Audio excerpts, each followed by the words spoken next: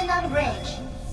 Too much of the past for one to memorize. Too many words remain for one to read through the lines. The ebb and